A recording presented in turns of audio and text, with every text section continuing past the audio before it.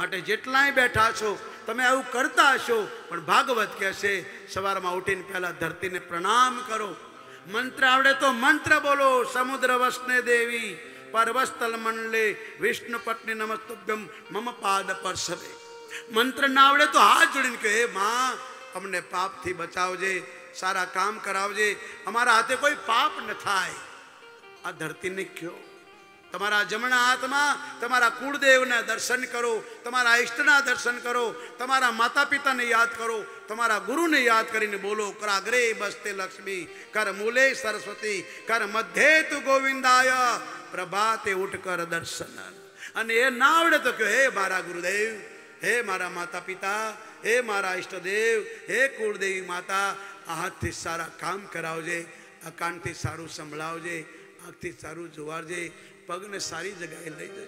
પ્રાર્થના કરો, ત્રણ મહિના કરીશું સાહેબ, અમે રોજ કરીએ છીએ. મને યાદ નથી કે મારા હાથ જોયા વગરના મેં કોઈની હામું જોયું હોય. મને યાદ નથી ધરતીને પ્રણામ કર્યા વગર પગ મૂક્યો હોય. સાહેબ, વ્યાસ ગાદી પર બેઠો છું. વ્યાસના ખોળામાં બેઠો છું.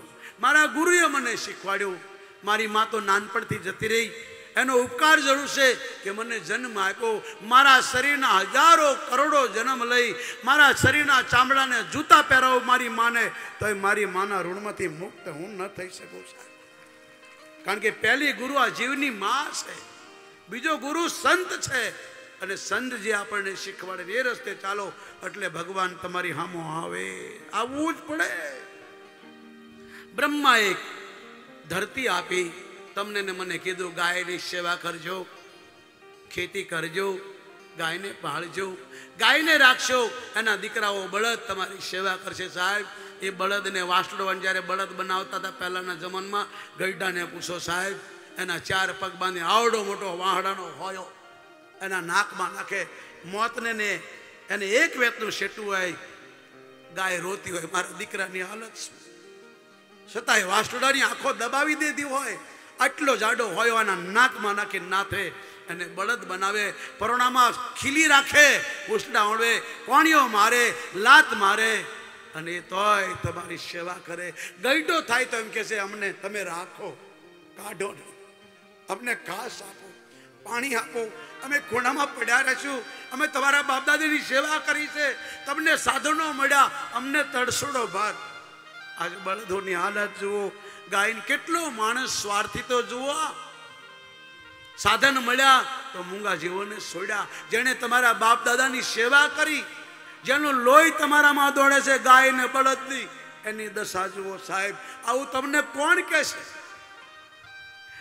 પરિસ્થિતિ ગાય ને બળદને છોડી, એની દશા તમે જુઓ, મરવા બેઠો છે. કોઈ કામ ના આવ્યો, એ તો સારું થયું. એના મા બાપના પૂન કે સુખદેવ જેવો સાધુ મળી ગયો સાહેબ. ન તો કોઈ બાપો ન પૂછે. માટે ગાય ને પાળો સાહેબ. મૂંગા જીવો પર દયા કરો. ઈશ્વરે તમને આપ્યું છે. આ કઈ સાથે નહીં આવે. થોડું તો કંઈક કરતા જાઓ. આ ગાયોની સામે જુઓ, આ બળદોની સામે. આ નંદીઓ આખલા જે રખડેની સામે જુઓ સાહેબ. આ તમારા ભરોસે છે. અમને ખેતી નથી આપી. સાહેબ, મારી પાસે કોઈ દસ વીઘા જમીન નથી. કે હું ગાયોને પાળું રાખું. છતાંય ભીખ માગી માગીને લાવતો તો ગાયોની સેવા કરવા માટે રાખીને દૂધ નહીં પીવા માટે. પણ લોકોએ સાથ આપ્યો નહીં. આપસમાં ઝઘડ્યા લડ્યા, સેવા ન થઈ શકી, દુઃખ લાગ્યું. મેં ગૌશાળા બંધ નથી કરી. આવો પાલનપુરમાં સાહેબ, ગાયોને તમે જુઓ. અમે દૂધ ખાવા માટે ગાયોને નથી રાખતા સાહેબ. તમે ભલે દૂધ ખાઓ પણ તરસોડો નહીં બાપ. આ ગાય છે તો તમે છો. ગાય છે તો દેશ છે. જ્યારે ગાય નહીં હોય, ત્યારે હું તો નહીં હોઉં, પણ ત્યારે તમને તમારી પેઢીની યાદ આવશે કે કોઈ ફકીર બોલતો તો સાહેબ, ગાય નહીં હોય ત્યારે વરસાદ નહીં હોય, તમે પાણી ક્યાંથી લાવશો? એવા ઘણા દેશ છે જ્યાં પાણી નથી મળતા સાહેબ, પૈસાની બદલીમાં પાણી. ઘણા દેશ છે ત્યાં ખેતીવાડી નથી થતી, શાક બકાલા નથી થતા, અનાજ નથી થતા, ભારતમાંથી જાય સાહેબ. ઈશ્વરે તમને આપ્યું છે, એની કદર કરો. આ ગાય તમને ભેટ આપી છે. કોઈ દેશને આવી ગાય નથી મળી. બીજા દેશમાં ગાયો જંગલમાંથી લાવીને એને ગાય બનાવી છે. ત્યારે તમારી તો ગાય દેશી અને સમુદ્રમાંથી નીકળી. ઈશ્વરે તમને ભેટ આપી છે. એનું જતન કરો મારા બા આ સંતો શું ગાયો રાખે? તમે ક્યારેક તો વિચારો, આ શું દૂધ ખાવા માટે છે? આ લોકો દૂધ વેચે છે? ક્યારેક તો વિચારો સાહેબ, તમારી આત્માને પૂછો તો થોડું. ગાય કોણ છે? કૃષ્ણને પૂછો, આ ભાગવતને પૂછો, આ રાજા પરિષિતને પૂછો. સાહેબ, સુખદેવજી ખીજાઈને બોલ્યો છે, ધિકાર છે તને. તું ગાયને બચાવી ન શક્યો. હવે તને કોઈ નહીં બચાવે. બેસી જા. તારા મા બાપનું પુણ્ય છે, તારા બાપ દાદાએ સંતોની, ગાયોની બહુ સેવા કરી છે. તારો બાપ, તારો દાદો ગાય માટે હિજડો બની ગયો, કિન્નર બન્યો. વાંચો મહાભારત. અને ખબર પડી કે પાપીઓ ગાયને લઈ જાય છે અને પોતાના વસ્ત્ર ઉતારવાની તૈયારી કરી. યુધિષ્ઠિરે કીધું, કાલનો દિવસ બાકી છે. ખબર પડશે, તેર પાછું જવું પડશે. અર્જુન કે, મરી જવું મંજૂર છે. પણ મારી ગાયને કોઈ સતાવે અને હું જીવું તો મને ધિકાર છે, સાહેબ. સ્ત્રીના કપડાં પહેરીને ગાયોને રક્ષા માટે શું કર્યું? મહાભારત વાંચો. ભીષ્મને પૂછો ગાયના અપરાધ. અરે કરણને પૂછો, સાહેબ. ગાય શું છે? કરણને પૂછો. મારી પ્રાર્થના છે એક સાધુના નાતે, સાહેબ. મારા દુર્ભાગ્ય કે હું આ સમાજને સાચો રાહ ન બતાવી શક્યો. પણ ગાયને રાખો. જો તમારી પાસે ખેતીવાડી હોય, તમે ડોબા પાડતા તે કદી ગાય રાખો. ઈશ્વરે તમને સાધનો આપ્યા હોય. ગાયને રાખો સાહેબ. તમારા આંગણે ગાય રહેશે ને અને તમારા ખીલે મરશે ને, તોય તમારી મુક્તિ કરતી જશે સાહેબ. અને રખડીને મરશે ને, એનું પાપ તમારે ભોગવવું પડશે. મારા બાપ, આ તો કૃષ્ણના શબ્દો છે. ધર્મે રક્ષતો રક્ષતા, ધર્મે હનંતે હનંતા તમને તમારો ધર્મ જ બચાવશે અને એ તમારો ધર્મ છે ગાયને પાળવી મનુ મહારાજને કીધું, ગાયની સેવા કરજો. સારા સંતાનોને જન્મ આપજો, કોડાઓને નહીં. કોડાઓને સમજો છો? કોડાઓ એટલે અહીં નથી, અમારે ઉધર બહુ છે સાહેબ. બધે ગામડે હોય. અહીં નથી હો. અહીં તો માણસો બેઠા. સમુદ્ર મથન થયું ને, ત્યારે હીરા માણેક ને રત્ન ઘોડા હાથી ને ગાય બધું નીકળ્યું. ઝેર નીકળ્યું મહાદેવને પાયું. અમૃત નીકળ્યું, બધાય પીવા માટે દોડ્યા. પણ જ્યારે કોડા નીકળ્યું, બધા ભાગ્યા. ભગવાને કીધું, ભાઈ આને ઘેરે લઈ જાઓ, બબે તમારા ઘર બહાર ઝાડુ મારશે, બર્તન મારશે, ટોયા કરશે, ઢોર ચારશે, બોલે, આને આને લે, ઘર તોડાવે આ. આ કોડાને કોઈ ન લઈ જાય, કારણ આનું કામ જ એવું. જે આનું ભલું કરે, એનું ખરાબ કરવું. બીજાની નિંદા કરવી, ઈર્ષા કરવી, બામ બગાડવા, લડાઈઓ કરવી, ઝઘડા કરાવવા, ચુંગલી કરવી, આને કોણ લઈ જાય? ભગવાને કીધું, ક્યાં નાખવું બોલે? તમારે વિમાન બહુ છે મોટું. અમારે ત્યાં કાંઈ વિમાન છે નહીં. પેલા વિમાનો ભગવાન એક પાસે હતા, બાકી એ નહીં. એટલે આમાં બધાને ભરો. પછી બધાએ કોડાને ભર્યા અને બધા ગામડે પાંચ પાંચ નાખ્યા. અહીંયા જ નથી. બાકી તો ક્યાંક ક્યાંક તો દરવાજો ખોલ્યો ડબલ પડી ગયા. તમે બહુ ભાગશાળી છો સાહેબ. તમારા ગામમાં કોડા નથી. અને કોડા હોય ને, તો આવું આયોજન થાય જ નહીં સાહેબ. આ તમે બહુ ભાગશાળી છો. લહેરગીરી બાપુનો પ્રતાપ, તેમના ગુરુદેવનો પ્રતાપ, એ મહાપુરુષની સમાધિ, એ કેવા સંત છે કે જગતની આગે કીધું કે હું મંગળવારે મારું શરીર છોડું તો જ મને સાધુ માનજો ને તો બાળી દેજો. અને એ બાપુએ મંગળવારે બ્રહ્મલીન સાધુ મરતા નથી, મરવાનું તો આપણે હોય છે. સાધુ બ્રહ્મા સમાય, બ્રહ્મલીન થાય, શરીર છોડે, પૂરા થાય છે, મરતા નથી. કોઈ દી ન કહેતો, પેલા બાપુ મરી ગયા હો ન તો પાપ લાગશે, મરવાનું આપણે હોય છે. સંતો મરતા નથી. એ શરીર બદલે છે. આત્મા તો એની અહીં જ છે. જો મોહનગીરી બાપુની આત્મા અહીં ન હોય, તો લહેરગીરી બાપુ અહીં બેસે જ નહીં સાહેબ. દેવળિયામાં આટલું આંબાનું વન સાહેબ અને દેવાળિયાવાળા ભાઈઓ અહીંયા આવ્યા છે. મોહનગીરી બાપુ તપસ્વી હતા સાહેબ. બાકી સ્વભાવ તો બજરંગદાસ બાપાનો જેણે જોયા હશે. સંતના સ્વભાવ સામે ન જોશો. અવગુણ લેવા હોય તો તમારા જ પોતાના લેજો. સંતોના અવગુણ નહીં સંતોના ગુણ લેવાય. સંતોના અવગુણ ન જોવાય. સંતોમાં દોષ રામ બોલ્યા છે, હે સબરી, મારી ભક્તિ કરવી હોય, મારું ભજન કરવું હોય, સારું જીવન જીવવું હોય, સારી રીતે મરવું હોય, તો સપને દેખે નહીં પર દોષા કોઈના દોષ ન જોવા.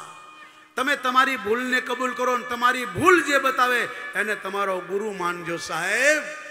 તમારી ભૂલ બતાવે તમારો ગુરુ, તમારો બાપ, તમારો મિત્ર, તમારો હિતોશી અને તમારી ભૂલને કબૂલ કરજો સાહેબ, સંતોએ કરી. સંતોમાં ભૂલ ન હોય, છતાં કે મારી ભૂલ થઈ ગઈ.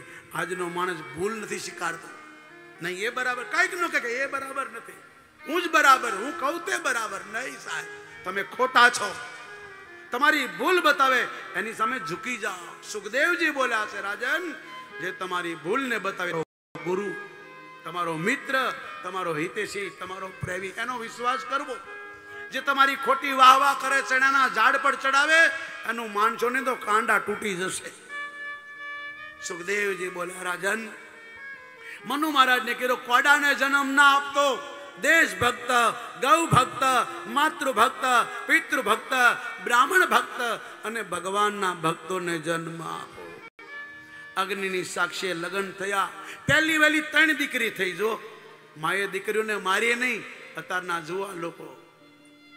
દીકરીઓને ખૂબ લાડ લડાવ્યા સાહેબ કારણ કે દીકરો વાઈફ સુધી અને દીકરી લાઈફ સુધી સાહેબ, આખી જિંદગી દીકરી કામ આવશે, દીકરો નહીં આવે. એ તો તમે ગામડામાં છો, શહેરમાં જુઓ. દીકરીઓ જ મા બાપનું ધ્યાન રાખે, છોકરાઓ નહીં. ખોટું ન લગાડતા. છોકરાઓ તો લગ્ન થઈ જાય એટલે બૈરી કેમ જ કરવાનું? મા બાપ કેમ નહીં? બહુ બોલે તો ગઈઢા આશ્રમમાં જાઓ. બહુ બોલે તો નોખા થાવ તમે તો બહુ ડાયા છો, તમારા મા બાપની સેવા કરો કરજો. તમે બહુ ડાયા તમારા સાસુ સસરાની સેવા કરો છો કરજો. ભણેલા, લેખેલા લોકો આવું નથી કરી શકતા. એની પાસે સમય નથી. એ ભૂલી ગયા, મારો ધર્મ શું છે? પહેલો ધર્મ છે માતૃદેવો ભવ. પિતૃદેવો. તમારા માતા પિતાની સેવા કરો. તમારા સાસુ સસરાની સેવા કરો. પહેલો ધર્મ. બીજો ધર્મ છે આચાર્યો દેવો. કોઈ સંતની સેવા કરો. કોઈ ગુરુની સેવા કરો. સેવા કરો એટલે કેમ કરો? ચોથો ધર્મ છે ભગવાનનું ભજન કરો. ભજન એટલે સારા કામ કરો, સારાનો સંગ કરો. ત્રણ દીકરીઓ થઈ, પહેલી દીકરીના લગ્ન થયા. કદરમાં ઋષિ સાથે પાલનપુરની બાજુમાં સિદ્ધપુર છે.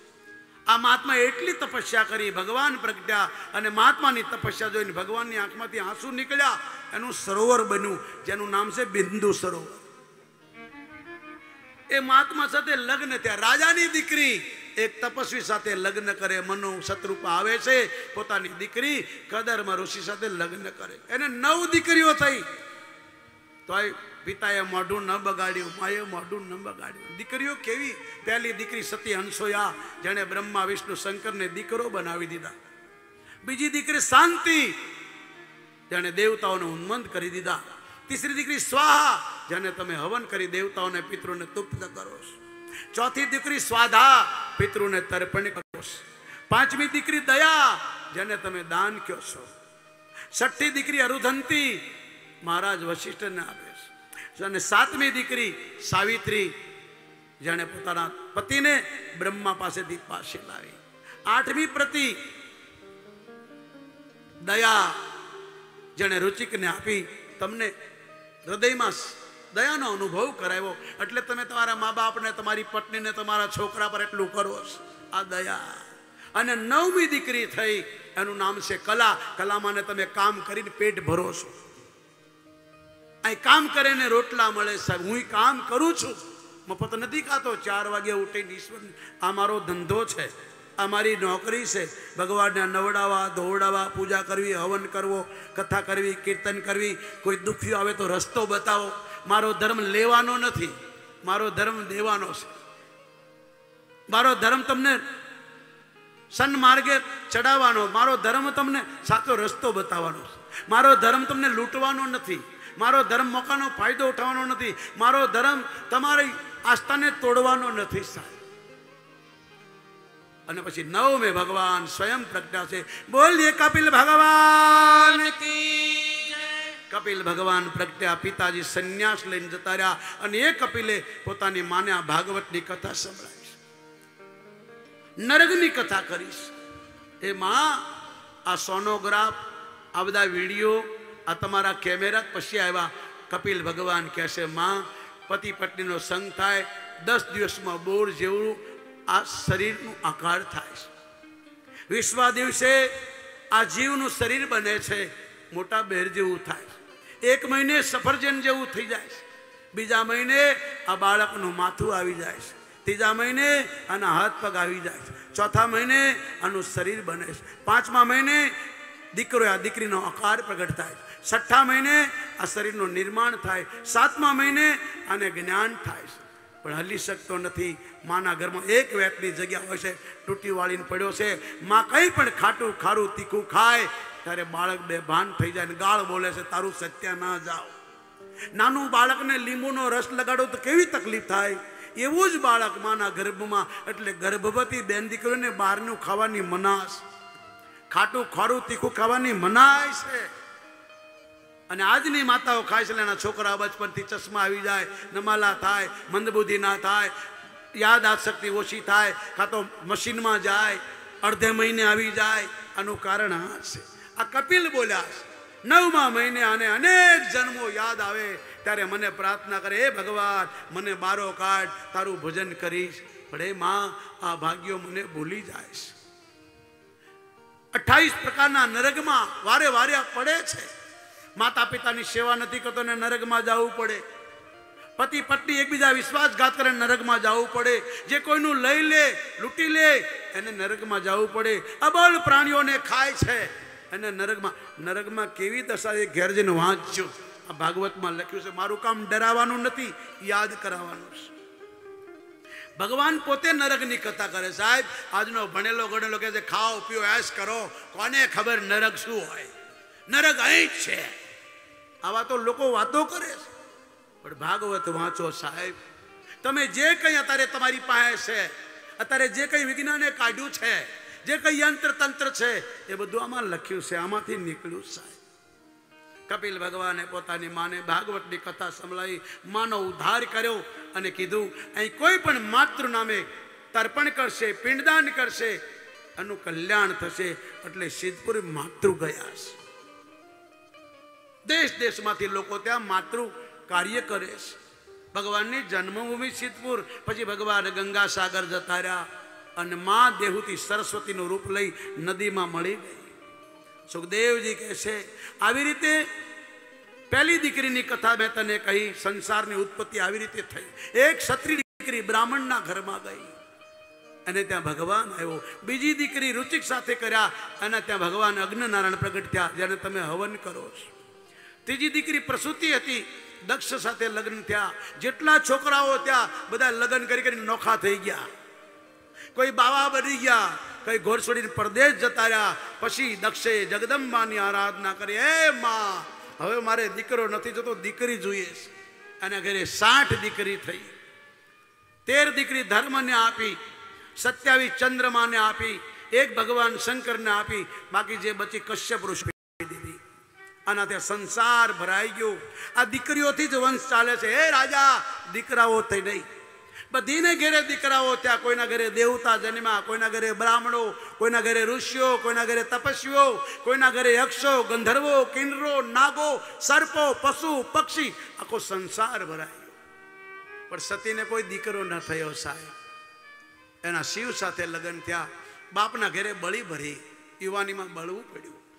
પરિષદ કે છે, ગુરુદેવ, આ કથા મને સંભળાવો. સતી તો સાક્ષાત જગદંબા, ભગવતી મા અંબા, શિવની ઘરવાળી. એને કેમ બળવું પડ્યું? કેમ મરવું પડ્યું? ત્યારે ભગવાન સુખદેવજી શિવજીને પ્રણામ કરી અને શિવ કથા કહે છે. આ ભાગવતમાં રામ કથા આવે, દેહી ભાગવત કથા આવે, કૃષ્ણ કથા, બધી કથાઓ છે.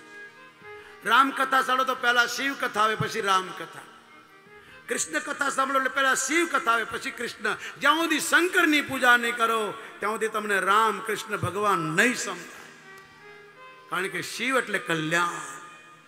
શંકર સાથે સતીના લગ્ન થયા, લગ્ન કરીને ઘેર આવ્યા. માતાજી કીધું, હાલો, આપણે ફરવા જઈએ સ્વિઝરલેન્ડ લંડન, અમેરિકા. ભગવાને કીધું, ત્યાં પથરા છે પાણી બીજું કંઈ છે નહીં. આપણે ફરવા નથી જવું. ચાલો કોઈ સંત પાસે જઈએ. આવી કથા સાંભળીએ. આપણા ઘરે દેવ જેવા દીકરા થાય. અને ભગવાન એકલા નથી ગયા, પોતાની પત્નીને લઈને ગયા. શંકર ગયા તો સતીને લઈને ગયા. અહીં જેટલા સંઘ આવ્યા ખબર સતીને લઈને આવજો.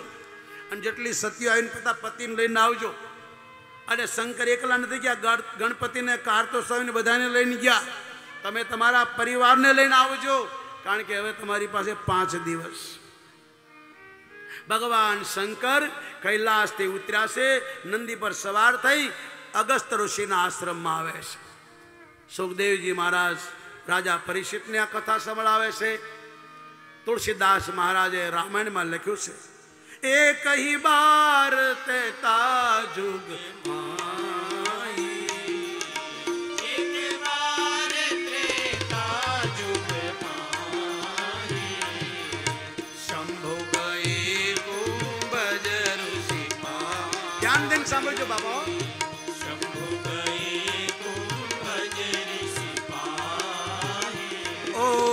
સંગ સતી જગ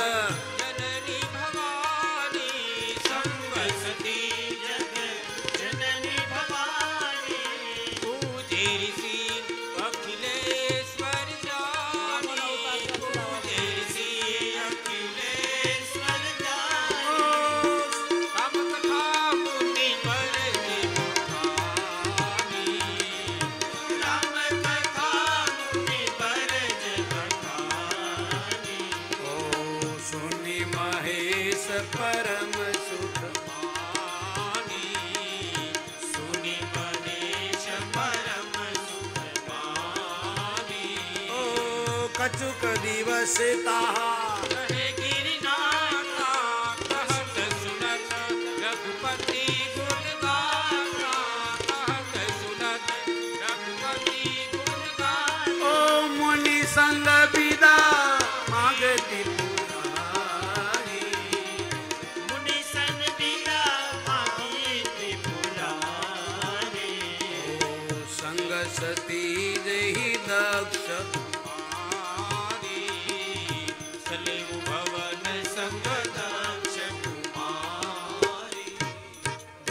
સાંભળો બાપ. હું જો ગામડી ભાષામાં તમને સંભળાવું છું, કોઈ મોટી મોટી ચોળી લાપસી નથી કરતો. કોઈ શ્લોક દ્વારા, જ્ઞાન દ્વારા તમને ગુમરાહ નથી કરતો. શ્લોકોનો પાઠ બ્રાહ્મણો કરે છે. કંઈક કામના શ્લોકો તમને સમજણ પડે કે ન પડે, જેને સાંભળવાથી પૂર્ણ થાય, એટલે કંઈક શ્લોકો તમને સંભળાવવા. મારા ગુરુદેવ ડોંગરેજી બાપા, શ્રીમદ ભાગવત કથા કરતા હતા, એમાં શ્લોક ઓછા બોલતા. કોઈએ પૂછ્યું કે કેમ ઓછા કહો છો? તો કે આ ગામડાના લોકો, ભોળા લોકો બેઠા છે. આ તો વિદ્વાનોની પરીક્ષાનો ગ્રંથ છે. આ ભોળા લોકોની સામે બહુ મોટી મોટી જ્ઞાનને ચોળીને લાપસી ન કરાય અને ચૂરમું બનીને ખવડાવી દેવાય. એમ આ કથા તમારાના જીવન માટે છે, મારાને તમારી શાંતિ માટે છે, મારીને તમારા કલ્યાણ માટે છે. એટલે શંકર ભગવાને તમને મને બતાવ્યું, ગ્રિસ્તીનો ધર્મ છે. મહિને, ચાર મહિને, છ મહિને, બાર મહિને આવું સત્કર્મ કરવું. આનું નામ છે સત્કર્મ. આવું ન કરો તો આવું ક્યાંય થતું હોય ત્યાં જાવું. શંકર ભગવાને કીધું, આપણી પાસે કઈ છે નહીં. આપણે આવડી મોટી કથા ન કરી શકીએ. ચાલો જે કથા કરતા હોય એની પાસે જઈએ. એટલે કથાકાર છે અગસ્ત ઋષિ, ત્યાં આવ્યા. ઋષિએ જોયું, ભગવાન શંકર ભગવતીને જોયા, એના ચરણ ધોઈ બેસાડી આસન કર્યું, પૂજા કરી અને હાથ જોડીને કીધું, હું તમારી શું સેવા કરું? ભગવાને કીધું, અમારા હમણાં હમણાં લગ્ન થયા એવી કથા સંભળાવો કે આવનાર પેઢી અમારી ધાર્મિક બને ગૌ ભક્ત બને પિતૃ ભક્ત બને. અમારે ઘરે કોઈ સંતાન આવે એ દેશભક્ત બને સાહેબ. આ જુઓ જુઓ, આ બોર્ડર પર વીર જવાનો છે. એમાં કોઈ ડોક્ટરના છોકરા નથી, નેતાના છોકરા નથી. એવા જ છોકરાઓ છે ગરીબનું માધ્યમ. છતાંને દેશની કેટલી ચિંતા છે કે ભરી બંદૂકે તમારી મારી રાત દિવસ રક્ષા કરે સાહેબ. એ વીર જવાનોને પ્રણામ, એના મા બાપને કરોડો પ્રણામ. સાચા દેશભક્ત તો એ છે, એની કથા થવી જોઈએ, એના નામના રોડ થવા જોઈએ, એના નામના બોર્ડ લાગવા જોઈએ. સાચા દેશના ભક્તો તો એ છે. જનની જણજે કાં ભક્ત, કાં દાતાર ને કાં સુર, નહીં તો રજે વાંદણી તારું મત ગુમાવજે ભગવાન શંકરે કથા સાંભળી નવ દિવસ. બે ટાઈમ નવથી બાર ત્રણથી છ તમારી ઘોડે નહીં, મરજી પડે તો આવો મરજી પડે જાઓ એમ નહીં, વાંચો. જગતનો પિતા મહાદેવ તમને કીધું, કથા કેમ સંભળાય, કેમ બેહાય?